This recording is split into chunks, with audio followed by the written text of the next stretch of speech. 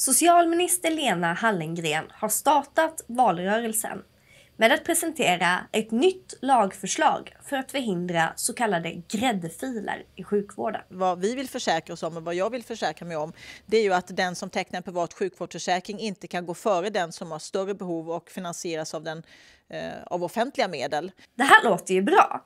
Grejen är att det redan finns en lag som säger just det här. Den med störst behov av vård ska få vård först. Som Lena Hallengren själv säger under presskonferensen. Den svenska hälso och sjukvårdslagen slår fast följande. Och jag citerar. Den som har det största behovet av hälso och sjukvård ska ges företräde till vården. Hälso och sjukvårdslagen gäller alltså redan idag privata vårdgivare som måste ge företräde till patienter med störst medicinskt behov, till exempel för cancerutredningar. Problemet är inte att det behövs en ny lag utan att det inte finns några möjligheter att straffa dem som bryter mot lagen. Det här vill inte Lena Hallengren ändra. Kanske för att även en del regioner skulle straffas då. Valrörelsen blir såklart lättare om man kan skylla vårdens problem på privata aktörer. Jag tycker det är upprörande att människor kan köpa sig en privat sjukvårdsförsäkring och gå före i den offentligt finansierade vården. Suck. Okej, så här ser det ut idag. Privata vårdgivare tar för det mesta emot patienter från offentlig vård. Men ibland tar de emot patienter som betalat för vården själva, antingen direkt eller via försäkringsbolag.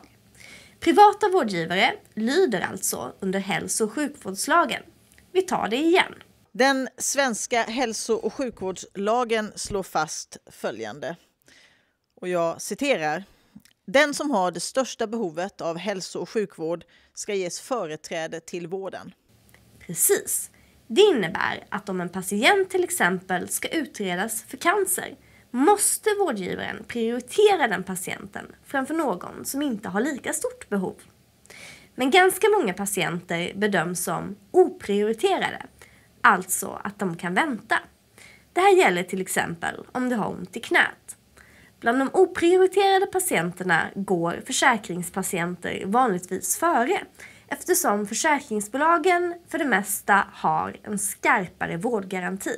Det innebär en uppenbar risk för att skattefinansierade patienter prioriteras ner och får vänta längre på vård än de annars hade fått göra. Nej, det är lätt att tro att en tid som går till en försäkringspatient lika gärna hade kunnat gå till en offentligt finansierad patient. Men försäkringspatienten betalar för sin vård två gånger. Först via skatten och sedan via sin försäkring. Utan försäkringarna hade vården haft mindre incitament att erbjuda den patienten vård och risken är stor att patienten då hade hamnat i den offentliga kön som hade blivit ännu längre. Faktum är att Lena Hallengrens egen utredning har konstaterat att det inte finns några undanträngningseffekter. Istället väljer Lena Hallengren att citera en annan utredning av Myndigheten för vård och omsorgsanalys. Myndigheten slår då fast att personer med sjukvårdsförsäkringar får vård snabbare, sannolikt utan att det finns skillnader i medicinska behov. Här gäller det att vara noga med orden. Det står inte att patienter med mindre medicinska behov får gå före. Precis som vi konstaterade innan är det så att bland oprioriterade patienter med samma medicinska behov, då går försäkringspatienter före. Vilket alltså paradoxalt nog leder till konsekvensen att även den offentliga kön blir kortare. Men alla får vård efter behov eftersom hälso och sjukvårdslagen måste följas. Den svenska hälso och sjukvårdslagen slår fast följande. Och jag citerar. Den som har det största behovet av hälso och sjukvård ska ges företräde till vården. Eftersom den förra utredningen inte kom fram till det Lena Hallengren ville så har hon tillsatt en ny. Den ska egentligen presentera sina förslag i juni men Socialdemokraterna tyckte sig inte ha tid att vänta in utredningen. Därför går de nu fram med ett gammalt lagförslag. Förutom att det inte tillför så mycket då det redan står i hälso och sjukvårdslagen Den som har det största behovet av hälso och sjukvård ska ges företräde till vården. Ja, ni fattar. Kritiserades det här förslaget av lagrådet redan förra gången, 2017. Varför väljer då Hallengren att gå fram med ett gammalt förslag innan den nya utredningen ens är klar?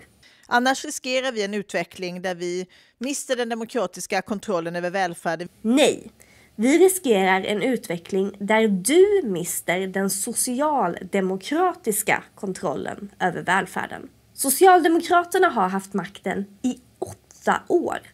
Under denna tid har vårdköerna vuxit och det är inte bara en effekt av pandemin. Vid årsskiftet väntade 650 000 personer på vård inom specialistvården. Om man ställde alla dessa människor i en riktig kö så skulle den räcka nästan ända från Stockholm till Sundsvall. I Danmark har man lyckats kapa vårdköerna genom att använda sig av privata vårdgivare. Om man inte har fått vård efter 30 dagar får patienten själv välja en annan vårdgivare. I Sverige är den så kallade vårdgarantin på regionens villkor. Vad händer om regionen inte håller den? Ingenting! Inte heller den här lagen har några sanktionsmöjligheter.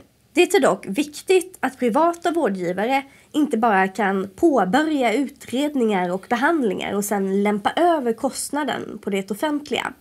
Förra sommaren röstade dock Socialdemokraterna emot ett förslag från Liberalerna om att de komplikationer som kan uppstå vid plastikkirurgi ska betalas av plastikkirurgiklinikerna och inte skattebetalarna. Rätt använda kan den privata vården avlasta det offentliga. Lena Hallengren är dock inte intresserad av schyssta villkor, varken för privata vårdgivare eller för patienter. Hon är intresserad av att behålla makten. I september kan du avgöra om hon ska få göra det.